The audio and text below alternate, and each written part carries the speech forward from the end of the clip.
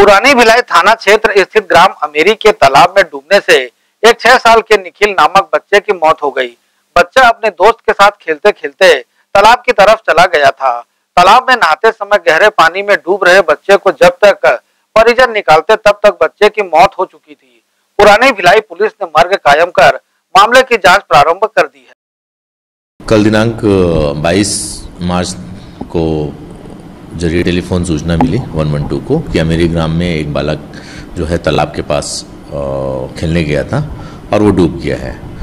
तुरंत one one two वहाँ पर पहुँची तस्दीक किया गया, जो बताया कि उस बच्चे का नाम निखिल गेंड्रे है, पिता का नाम, पिता का नाम पुष्कर गेंड्रे है, जो कि छः वर्षीय है।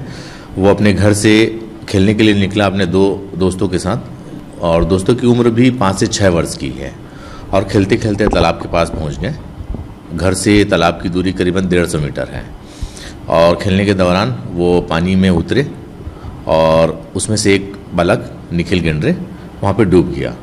बच्चों ने आवाज़ लगाया आसपास लेकिन तालाब में उस समय कोई भी नहीं था जिसके कारण कोई उनको तुरंत मदद नहीं मिल पाई। वो बच्चे दौड़ के फिर घर गए। घर से परि, परिजनों को लेकर आए। तब तक बच्चा डूब गया था। वहाँ पे पता तलाश किया गया और तुरंत निकाले उसको।